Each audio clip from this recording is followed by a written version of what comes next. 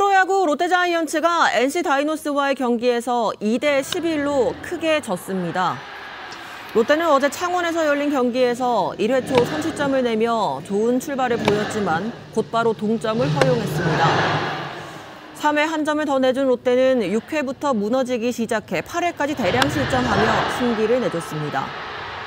승률 5할의 롯데는 NC와 리그 공동 4위를 기록 중입니다.